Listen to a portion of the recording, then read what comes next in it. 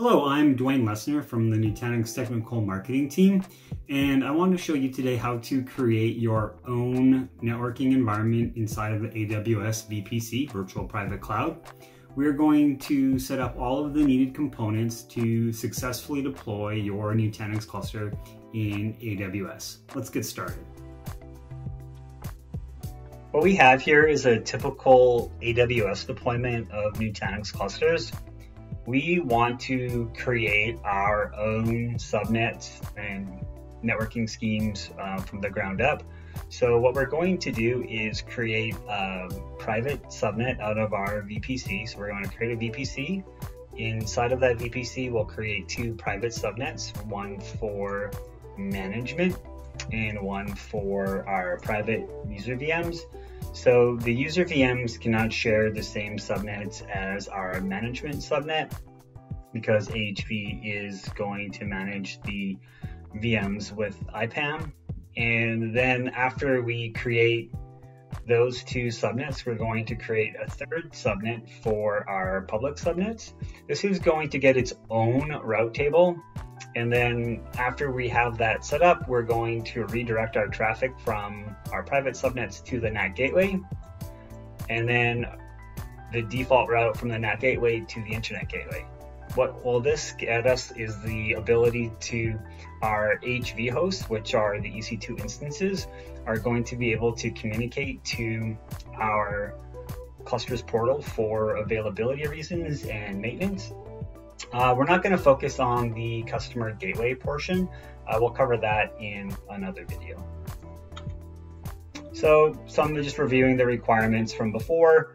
We want our clusters portal to talk to console.nutanix.com. Most people do not block outbound uh, SSL, so this should be fine in most cases. And then we want to ensure that our subnets are all associated to the same AZ within AWS. And then just being aware that your subnets that you're creating, we don't want them to overlap with any on-prem subnets. Uh, so this will just help with uh, internet connectivity, especially if you're going to replicate or move any virtual machines from on-prem into the public cloud. So the steps that we're going to take, we're going to create a brand new VPC from scratch. Uh, you can use an existing one, there's that option, and we can also in the UI have an option to do that automatically for you. Uh, so this is just kind of getting into the weeds if you really want to customize your environment. So we're going to create our private subnets for cluster management and our user VMs. We're going to add them to the same route table. Then we're going to create a public site subnet inside the same VPC but we're going to create a new route table for the public subnet. So both private and public will have different route tables and we'll associate our public subnet to the public route table. Then we will create a NAT gateway and we'll redirect traffic uh, from our private subnets to the NAT gateway. And then we'll create an internet gateway in our VPC. And then we will route any traffic from the public subnet to the internet gateway. Let's get started. We're going to create a new VPC in the Canada region. So we'll go to VPC. We'll go into the VPC section. So we'll see the default one that comes with your account. I will create a new one. I will call this Nutanix clusters.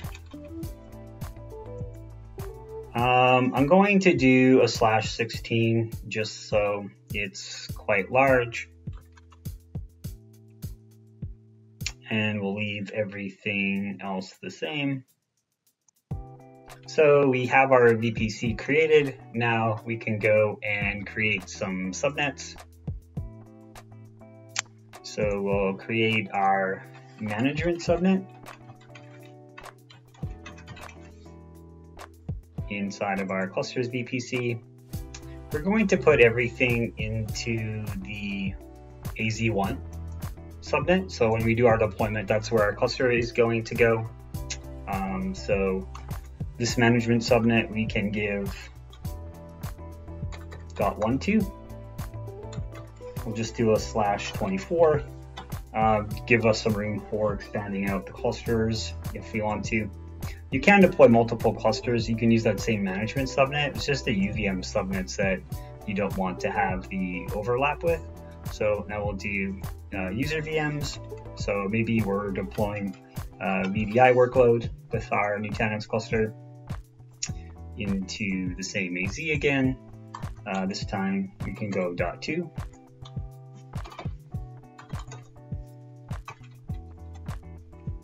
Hit create. And now we need our public subnet created. Same VPC again, uh, into the same AZ. And this one, uh, we can actually leave it at 0, dot 0 slash 24. So we have our three subnets that we want. Now we want to ensure that these public and the other two subnets are in their own route tables. So we're going to have one default one created for our environment. It's good to leave the private subnets in the default one, so we'll create another route table. Just hit create. And so now we can go into that route table and associate our public subnet. So now they are going to be in two different route tables. If we check, and then this one, um, we'll just edit here so we just have that squared away in case you have to do troubleshooting later. Uh, and then if we go into the subnet associations, we have um, them already showing up here, but they are associated with the main route table. So we can explicitly define them as well. So edit subnet associations, um, and then better safe than sorry. So we'll just hit save.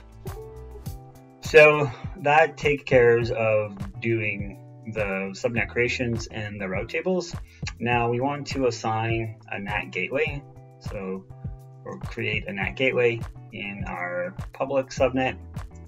So clusters, Canada, NAT, pick a subnet into our private subnet.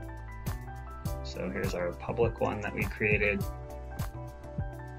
Allocate an elastic IP, which will happen automatically. Uh, create our NAT gateway. So now we can go into our route table for our private environment and add a route. So in this route table, anything that's not staying local, we want to send to the NAT gateway. So do subnet mask that will send all the traffic to our NAT gateway. So now our traffic can get into the NAT gateway. And now we just need to create a internet gateway for our environment. Um, looks like one's attached, but that's not the one for our environment. So hit create. Now we need to attach it to our VPC, attach, clusters, and so now that we have the internet gateway created, we go back to our route table for our public environment and we will add a route table. So anything like before, anything else that's not staying local, we want to send that out to our internet gateway. Hit save. And now our environment should be ready for deployment. Now let's just take a quick look at our environment and ensure that we're seeing those new options that we just created. So we're in our clusters portal. If we go create cluster, um, so we already have our cloud provider and account set up. If we pick the Canadian region, Montreal, we see that our Nutanix clusters.66 is now showing up. And we just need to pick the management subnet. And you can also see some safety that we're blocking out the public subnet. And so now we can deploy our cluster into AWS in the Canadian region. Now that we have the networking configured on our cluster in AWS, we can deploy virtual machines natively onto the cluster or we can start replicating them using data protection. We could use Nutanix Move or we could use our Leap, which is our DR orchestration product to move our virtual machines onto our clusters and get to work. Thanks for watching.